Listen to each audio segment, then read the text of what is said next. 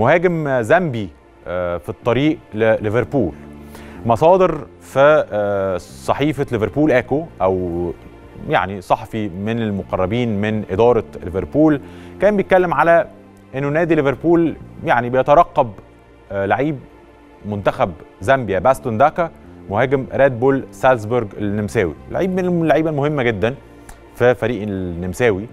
وبيفكروا يتعاقدوا معاه في الفترة اللي جاية. لعيب في المتناول من ناحية الأمور المالية وفي ظل احتمالية كبيرة لرحيل أحد النجمين. أو مش احتمالية كبيرة خلينا نقول احتمالية لرحيل يا إما ساديو ماني يا إما محمد صلاح. في كلام كتير قوي على إنه ولو جه عرض لو جه عرض كبير في الفترة اللي جاية مفيش مشكلة. كتير جدا من رموز ال- النادي الإنجليزي العريق اتكلموا على إنه من الأفضل للفريق.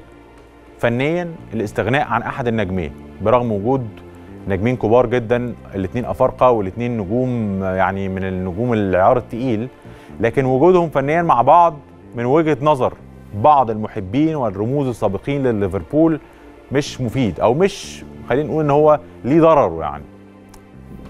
كلنا عارفين وكلنا سمعنا عن كلام حصل وإشاعات خرجت عن علاقة ماني بصلاح وإن هم مش في أحسن الأحوال دايما وإن هم في غيرة ما بينهم أو يعني يعني بيتقال كده كلام كتير في القصة دي.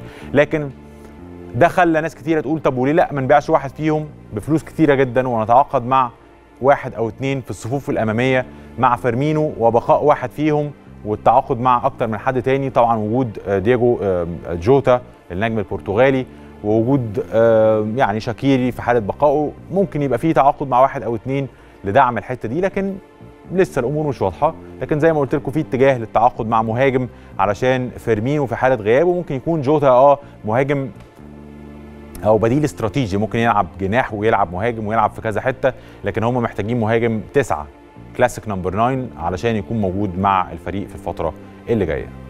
بعد سيرجيو بوسكيتس إصابة دييجو يورنتي بفيروس كورونا. الاتحاد الإسباني لكرة القدم أعلن عن إصابة يورنتي لاعب منتخب لاروخا أو منتخب إسبانيا بفيروس كورونا وبتعتبر إصابة آه، يورينتي بفيروس كورونا هي الثانية بعد النجم الكبير سيرجيو بوسكيتس قائد المنتخب ونجم برشلونة فأشار بيان الاتحاد الإسباني إن اللاعب غادر معسكر المنتخب في عربية إسعاف وجميع الإجراءات الخاصة ببروتوكول فيروس كورونا طبعا كانت متبعة في القصة.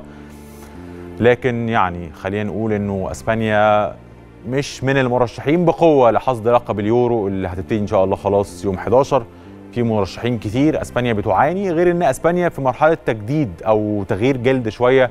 مع لويس انريكي وهو اتكلم بمنتهى الهدوء وقال إحنا هنقدم بطولة قوية إحنا إسبانيا في الآخر هنقدم بطولة قوية لكن ما أقدرش أوعد جمهوري بأي حاجة. كلام محترم وأعتقد إن هو عشان ما يأفورش يعني ويقول إحنا البطل وإحنا اللي داخلين وبتاع لكن الترشيحات بقوة رايحة ناحية فرنسا أكتر ورايحة ناحية فرق تانية مش في مقدمتها إسبانيا. تعالوا نطلع